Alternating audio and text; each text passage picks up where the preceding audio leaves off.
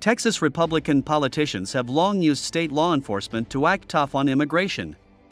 But developments over the past few days seem to show how their latest maneuvering is inviting chaos, raising fundamental constitutional questions, outraging local officials, and worsening international relations. A recall, Texas has ramped up efforts to fortify the border in recent weeks.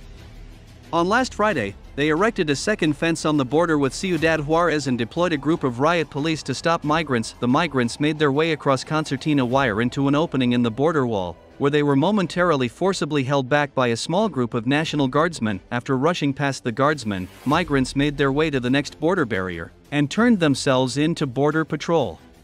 The Texas National Guard is under control of the state government, which is currently locked in legal battles with the Biden administration seeking to expand local control of immigration enforcement, though federal officials are mandated to apprehend and process anyone crossing the border without prior authorization. Texas officials, including the National Guard, are seeking to forcibly prevent foreign nationals from crossing the border wall and other obstacles, including concertina wire laid out by the state.